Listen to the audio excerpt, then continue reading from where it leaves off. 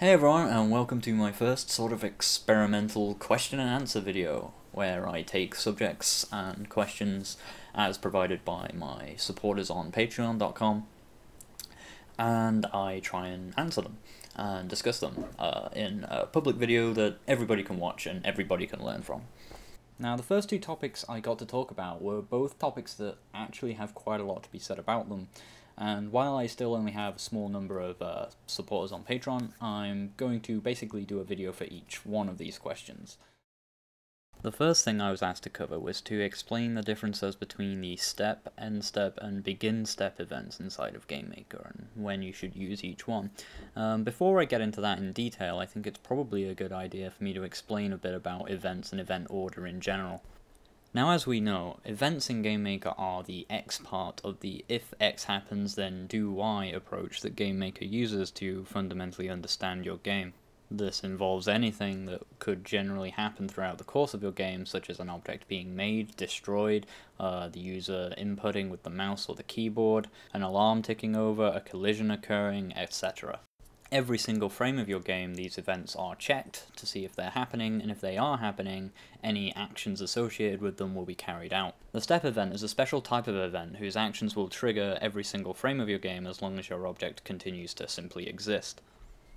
This makes it incredibly useful for any kind of looping or continuous action in your game. Now, there are three different kinds of step event. There is the begin step event, the step event itself, and the end step event. Now, these events all work in the same way, in which they are triggered every single frame of your game, and don't rely on anything external happening other than the object existing in the room. But the way they differ is in terms of exactly when during each frame these events are triggered, and in order to understand that we need to look at the order of events in general. When a room is entered for the first time, a series of events are always processed in the same order, and that's the create event of every object in the room, followed by the instance creation code of each instance, followed by the game start event if it's the very first room of your game, uh, the room creation code, and the room start event of any instances in the room. Now, after this, every frame of your game, events are going to be processed in a certain order. This order might vary in small ways as GameMaker develops over time, but the begin step event, the normal step event, and the end step event will always occur at the same times in every frame. The begin step event occurs right at the very, very beginning of every single frame, and then after the begin step event has been processed, uh, that's when the alarm events, the keyboard events, all your input stuff like your mouse, your keyboard stuff, uh, that's all processed after the begin step event.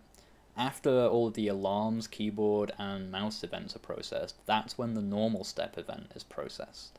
So by the time the normal step event occurs, we know that all of our alarm events have triggered, and we know that all of our uh, keyboard and mouse events have also triggered in all of the objects in our room. Now, immediately after the normal step event, that's when instances are actually set to their new positions, especially if you're using something like h-speed and v-speed and stuff like that. That's when your objects are actually set to their new positions based on all of these variables, and they have to be so that the collision events can then occur.